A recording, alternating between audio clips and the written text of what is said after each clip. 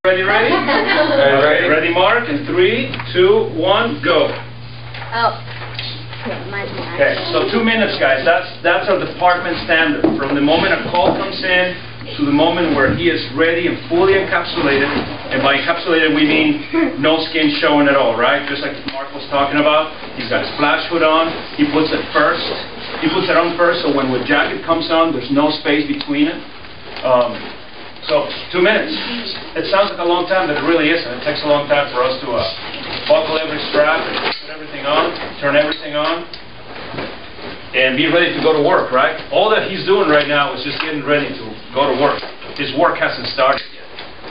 So, that's what we train so much. We train and train and train.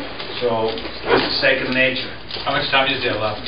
Yeah, like a minute. Like a minute and ten seconds. It's like a minute, five seconds.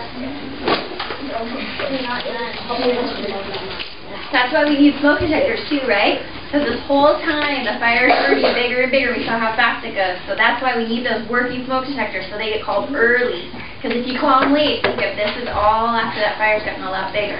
That's why you have to have this. That's like this. No, it doesn't. Do you guys, you know how, fa- how long it takes a fire to go when? Like, how long? Two minutes. Was We saw, I don't even, like, we saw, um, we saw that soccer. Oh, did you guys, did you guys all see that video? Where a fire started and waited, what, two minutes? Yeah. Two and a half minutes? Yeah, I mean, a minute, seconds left. Plenty of time. Twenty. Twenty seconds. Tell me to stop. All right.